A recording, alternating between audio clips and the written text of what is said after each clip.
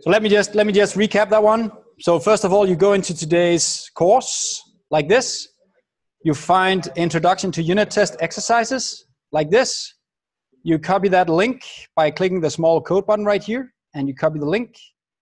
You go to your Visual Studio. In your Visual Studio, you go and you say clone repository, and I put in the URL that I just copied. And then please don't put this on your desktop when you save this. It's just, you can do it, it's okay, but you'll probably get some kind of firewall exception, and it's just freaking annoying. So put it into a work folder on the C drive or something like that. Just don't put it in your desktop. Your firewall tries to protect you there, just so you know it. So what I would do is I would go in and find my C drive, and uh, here I would create a new app, and I'll just clone it. And remember, when you clone a repository, you get a copy of the code. You don't have to worry about, by mistake, destroying everybody's code in here. Okay? It's a clean copy. And that's the same thing. If you guys get to any point where you think I've messed everything up, try, delete everything, clone again, and just try it once more if, if that's the case. Now, when my solution is actually downloaded right now, it'll automatically try to build the solution. It won't run the unit test automatically, but it'll try and build the solution. And um, you'll probably get errors there. But if it didn't, you can press the build up here and then you can say rebuild solution and it'll make sure that everything is built properly. You should get some kind of notice like that saying rebuild all once succeeded like this and no failures. So that should kind of be your, your goal for now. Okay, when that is done, you should be able to right click on solution level over here like this and then you should be able to say run tests like this. If that is not available, there's probably something under test right here that says run um, or test explorer or something like that. You should run that one to get started. I'll just run all tests for now and you'll see that most of them fail. Not all of them, but most of them will fail. And you get something like this, hopefully a test explorer that pops up with the, with the tests. Now you can move all, of, all of this can be moved around. So if you don't like the windows, how they're set up right now, you can move them wherever you want. You can set up an environment looking like NetBeans. It's just kind of drag and drop in like you want. When you get up and running right here, it should show six test passing because I made some constant test that pretty much just says, I expect the string is this. And I made those because then I'm sure that your test environment is running if some pass and some fail. So you should have the exact same numbers as me right here for now. Okay. Okay, so now we need to start solving these tests. And before we do that, let me give you guys an overview about what's actually in the solution. I'm going to talk a little bit about this later, but there's a difference between folders, projects, and solutions. And I'm going to give you guys an overview about that when you start creating your own projects. But right now, just understand that we have a solution and a project, and I have two folders under that project. One folder is the test folder, and that's where everything that you shouldn't touch resides. But it's a-okay if you guys want to try and write your own unit tests. Again, this is your code now. You cloned it, do whatever you want with it. You cannot destroy my code. You can just reclone it. So it's okay if you want to play around with it. If I go into one of these tests, you can see the constant test right here. That's the one that gives us success right now. So notice right here, these are some pretty simple tests, right? It says, I expect that this constant is yes, and it is. I can tell you that, you don't have to go there. So that's kind of the unit test. And this is not that useful because they're all passing, but you'll notice right here, there's actually a cool feature up here actually showing what tests will pass and what tests will fail. So I have the green icon, that means that every test for this one passed. Let's jump into the other one, and I'll show you that you can actually see now the areas that didn't pass. Before we do it, I wanna show you some pretty cool, a pretty cool feature that .NET have right here, and that's called regions. So you'll notice each of these guys right here has been collapsed. But when I expand them, there's actually a small region tag right here, hashtag region, and then some kind of name. And when I scroll down, you'll notice there's also an end region right here, hashtag end region. Now that means that I can actually collapse an area. And that's pretty neat when you write code because now you can start collapsing your different sections inside a file if you have files that are a bit larger than a basic file. Okay, so I've done that for each of the areas. And again, you'll notice right here, I can see that this one actually passed. And that's because I made a null reference test. Don't have to get what it is. It's just there. So I know again that the code runs.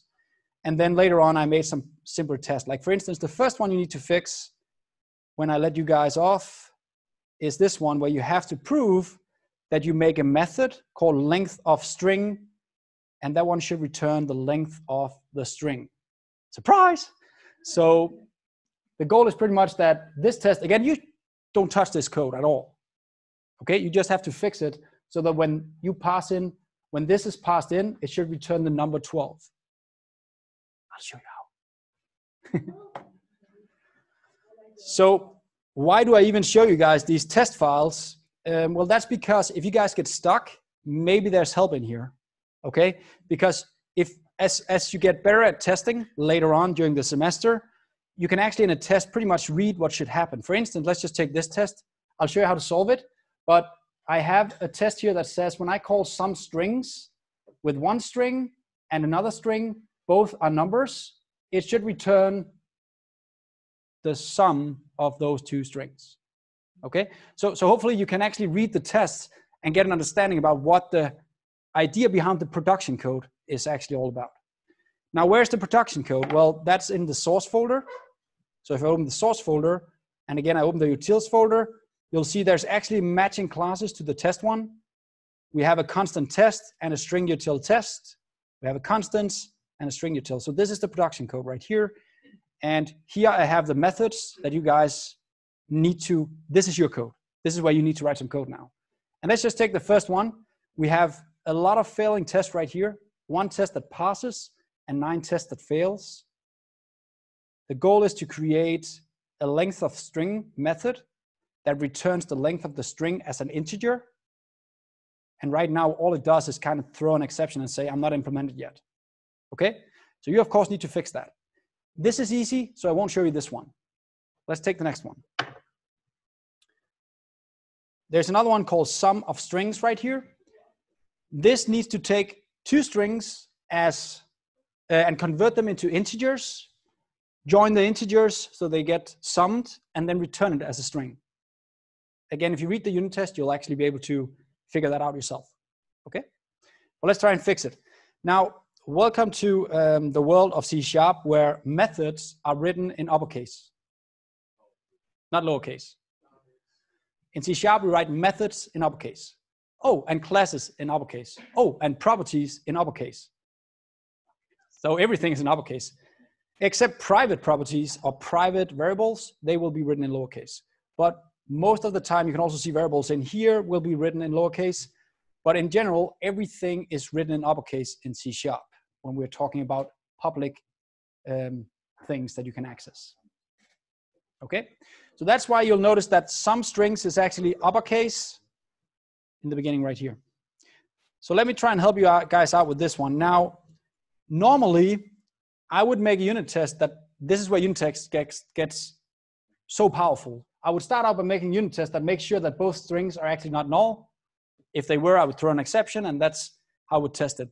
But I trust you guys, so let's skip that for now and just try and take these two values and convert them into integer values. First of all, I want to return an integer, right? So let's say um, number one right here, that's going to be an integer. Oh, nombre. Equal, it's the international class, so I use Spanish, I think it is. Uh, nope. So it should be able to pass this, and you would probably do something like integer dot pass. Yes, yes. We won't do that. We'll do because actually uh, in C sharp we have a pretty cool convention that makes it so that we can write something that looks a lot like what you're used to with types, but they actually work like classes. So they have all the functionality that you do with classes written as types. What do I mean? Well, you can write int like this but behind the scenes, what you're actually doing is you are mapping to an integer.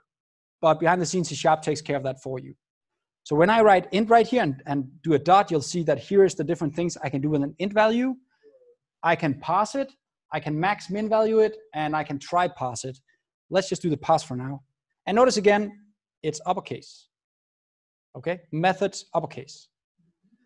So I'll pass this guy, and what do I want to pass? I want to pass the string value of one. It's called value one, Lars. Okay, sorry about that. It's okay. Thank you. You're welcome.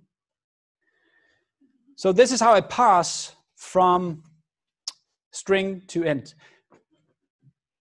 But this may, might fail, okay? I might get an exception here for different reasons. First of all, what if the value is null? How do I pass null to an integer value? You can't, so you'll get a null pointer exception, null reference exception. Uh, what if it's actually not a number? What is the letter L? How would you pass that to a number? You can't, so it'll actually be an, be an exception. So again, we might we probably should guard ourselves against all these different exceptions. And you'll actually notice if I mouse over right here, it says I'm going to return an int value. You get a space, and then I'm going to pass something. This is the method. And then actually here you can see all the different exceptions you might end up with. Okay, now the overflow exception is if you try to pass a number that can't be within an integer, instead of just fake, uh, making your code fail because it goes to minus, it'll actually throw an exception instead and says, I can't pass that. Okay, so the, here's the different exceptions you might get from this. Right now we're just uh, totally in the dark and we expect that everything will go well. Let's try and do number two right here and say int pass uh, value two. So there we go. Now we have the two different numbers. Now we kind of need to sum them. Okay, and here I hope you guys can remember it. Okay, how do we add two numbers together? Oh, I, I won't. Um, sum value equal number one plus the other one. There we go. Um, that's amazing. So now we have the value, but I said that I actually wanted to return it not as an integer, but as a string. Okay, so again, just like you had to in Java, we are type safe right here. So we can't just pass anything back. back. So we need to kind of uh, take the sum value. We want to return it, right? Return sum value and then you can actually do a small thing called toString, just like you're used to. And just have to remember there's a couple of parentheses here in the end because it's actually a method. How did you know that? Well, because I've used this for a long time.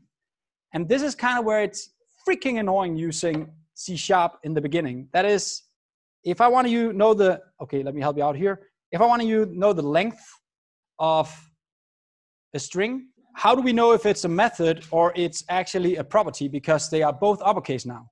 Now you'll notice right here, if you look at the different um, signatures at the icon right here, you'll see when you have this wrench, it's actually a property.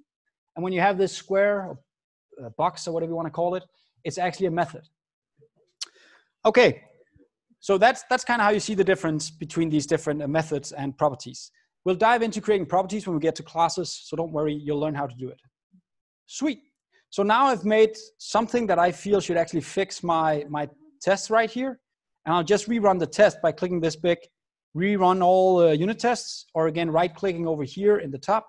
Now it's, it's pretty important you don't right click. You can right click a single test if you want to also actually, and run the test for this single one. But I always pretty much just run everything.